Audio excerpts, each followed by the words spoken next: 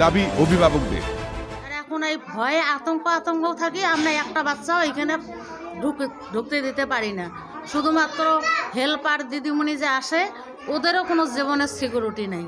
কখন বিল্ডিং ভাঙে পড়ে যাবে এটা বলা বলা বড় মুশকিল। এদিকে শিশুদের অঙ্গনওয়াড়িতে পাঠাতে ভয় পাচ্ছেন অভিভাবকরা। এই যে ভেঙে ভেঙে পড়ে যে। হ্যাঁ দিদিমণিকে বলছি দিদিমণি জানাইছে ওরা কিছু করতেছে না। এই যে সারটা ভাঙা ভাঙা পড়তেছে। আমাদের বাচ্চাদের জীবনের তো একটু রিস্ক নিতে শিশু ওগুলা ওর জন্যে। আমরা পাঠাতে ভয় পাচ্ছি। আমরা চাইছি এটা নতুন করে হোক। বাচ্চারা ভালো করে পড়াশোনা করুক। আমি মায়েদের সাথে মিটিং করি মাঝে মধ্যেই মায়েরা বাচ্চাদের পাঠাতে ভয় পাচ্ছে। দ্রুত সমস্যার সমাধানের আশ্বাস তৃণমূল ব্লক সভাপতি। কিন্তু ঠিক আছে আমরা ওটা দেখব দেখে আমরা যদি এরকম অবস্থা থাকে ভেঙে পড়ে আমরা ওইটাকে নতুন করে নির্মাণ করব। রাজ্য সরকার চুরি করতে ব্যস্ত কটাক্ষ বিজেপি।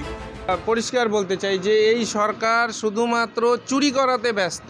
এই সব কাজের দিকে এদের নজর দেওয়ার সময়ই নেই। কারণ জানে যে আর কয়েকটা দিনই আছে সরকার সেই জন্য যতটা পারা যায় আপাদমস্তক চুরি করে নেওয়ার গুটিয়ে নেওয়ার চেষ্টা চলছে। প্রশাসনিক সূত্রে খবর, কোচবিহারে প্রায় চার হাজারের ওপর অঙ্গনওয়াড়ি সেন্টার রয়েছে। যার মধ্যে বেশিরভাগ অঙ্গনওয়াড়ি সেন্টারের ঘর এবং জায়গা নেই। এখন কোচবিহার দু নম্বর ব্লকের এই অঙ্গনওয়াড়ি সেন্টারকে ঘিরে ভয়ে রয়েছেন শিক্ষিকা থেকে অভিভাবকরা। কবে হয় সমস্যার সমাধান? এখন সেটাই দেখা কোচবিহার থেকে Shashikesh Roy report, Calcutta news.